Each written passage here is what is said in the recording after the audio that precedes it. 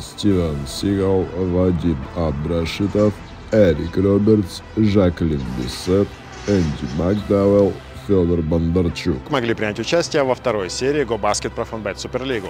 Но у этой серии есть свои герои.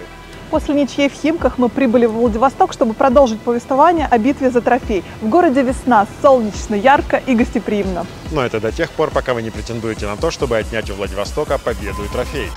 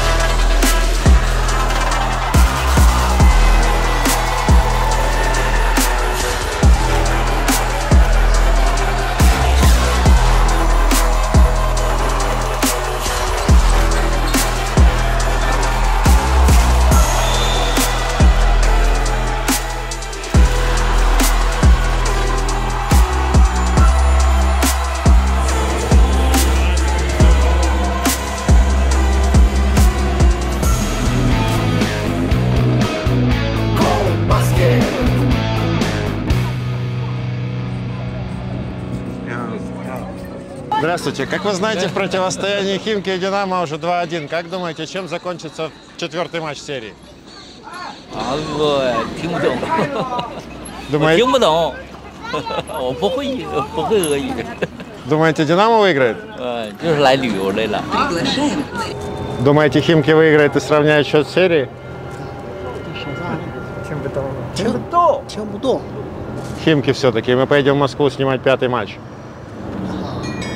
主要是我们听不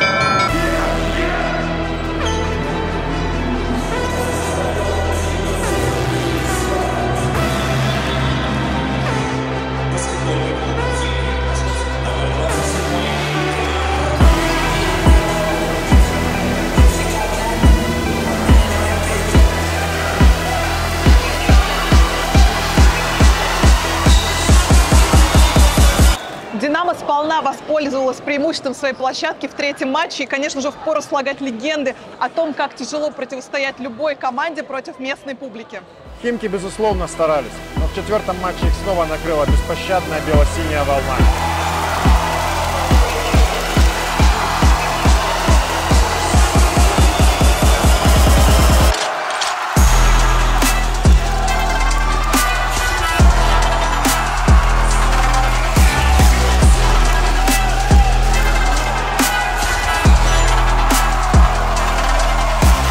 А вообще законно так болеть за «Динамо»?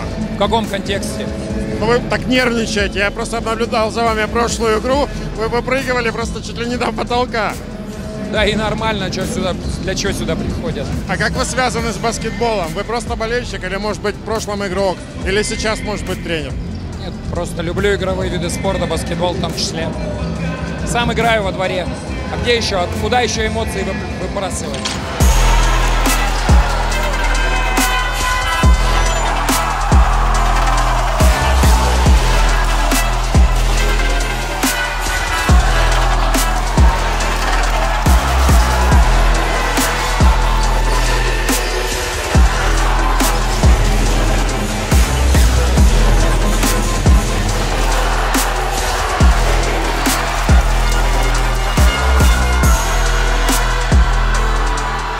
Первые две игры были, мягко сказать, не очень. Но я продолжал верить, команда продолжала верить. Мы верили в друг друга. в систему в первую очередь. В меня верили все ребята и знали, что когда-то это должно случиться. И это случилось. Спасибо команде в первую очередь. А когда ты почувствовал, что вы забрали серию в свои руки? После Еще- даже после проигрыша а, это была наша игра, мы чувствовали. Просто не сыграли. Можно так сказать, у нас есть биг трио, про которое писали я, Богданович и Андрюха. Но мы не, не шапка-валка сыграли. Но потом по очереди, по очереди накатывали. И в итоге мы почувствовали, мы, знаете, как когда зверя ранили, а потом добивают. Поэтому мы это все чувствовали, мы это проговаривали. И верили, самое главное. Вот, поэтому все, больше ничего. Крутой, ты крутой. Спасибо, спасибо. А есть ли для вас лично некий символизм в том, что ключевым игроком матча стал именно Аксенов? А, вы знаете, в жизни же оно как? На первом месте все равно всегда личное, а потом общее. Если ты научился держать баланс между личным и общим, у тебя что-то получается в жизни. А, Я проживаю свою мечту. Я родился в Владивостоке, вырос тут. И впервые Владивостокская баскетбольная команда добилась победы в решающем матче на своем паркете. До этого приморские команды побеждали, но это происходило где-то в других городах.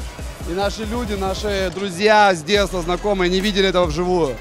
Это уникальное шоу произошло, уникальное шоу спортивного масштаба и человеческих характеров, человеческих э, историй. Что касается Аксенова, это уникальный парень. Когда в детстве он пришел в мой интернат, его никто не хотел брать, ни один тренер. Его мама пришла однажды и сказала, пожалуйста, только не выгоняйте, он старательный. Ну, человек с такими габаритами, с маленькой рукой, он, по, по идее, один из миллиона шансов заиграть. И ставить на него было очень рискованно. Я думаю, ни одного...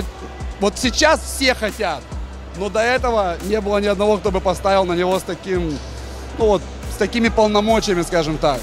И честно вам скажу, как тренеру, мне не очень нравится его стиль игры. Это рискованный стиль игры. Но кто не рискует, тот не пьет шампанское.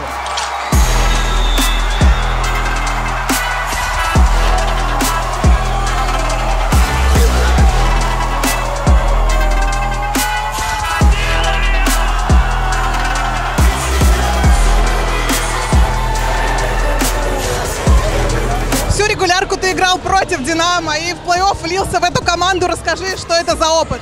Ой, это невероятный опыт. Э, Я безумно счастлив, что попал в эту команду в конце февраля.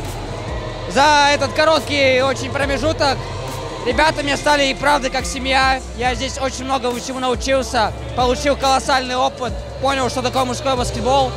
Ну и, конечно, стал чемпионом. Это, это очень круто, эмоции бешеные.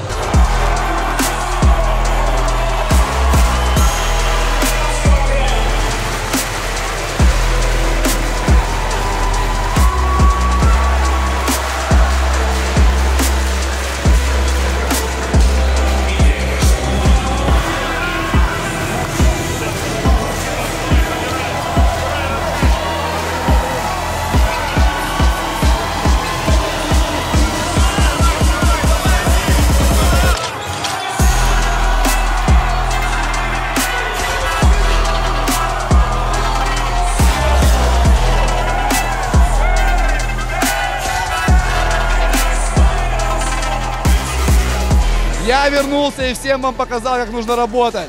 Как нужно собирать полный зал. Где в Химках полный зал? Нет полного зала. Что в Ревде? Нет в Ревде.